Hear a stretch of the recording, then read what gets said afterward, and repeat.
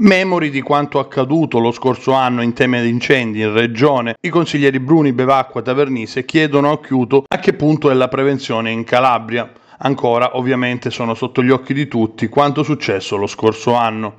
Dicono i tre consiglieri regionali di aver depositato un'interrogazione a risposta scritta per conoscere quali sono le strategie che la Regione intende adottare e quali già intraprese per incrementare la capacità di previsione, prevenzione e controllo degli incendi in Calabria proprio a tutela del patrimonio boschivo. Tutti sappiamo che è compito della Regione promuovere e favorire tutte le azioni di prevenzione e mitigazione del rischio tese a ridurre il numero, l'estensione e gli effetti degli incendi boschivi. In tal senso i telespettatori conoscono e ricordano la tragedia che si è verificata lo scorso anno, nella scorsa estate, quando vasti incendi hanno colpito gran parte del territorio calabrese e in particolare la Locride e l'Aspromonte, provocando, oltre una grave perdita di biodiversità, anche alcune perdite di vita umana. Ricorderemo tutti il nonnino di Grotteria e tante altre persone che purtroppo sono morte per via degli incendi. Secondo alcune analisi preliminari svolte dall'associazione di categoria che si occupa di tutela del territorio, sono oltre 7.000 gli ettari distrutti dal fuoco